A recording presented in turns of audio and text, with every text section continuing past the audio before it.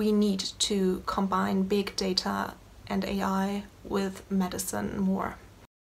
I burn for good science communication because I think we have a lot to learn from scientific thinking.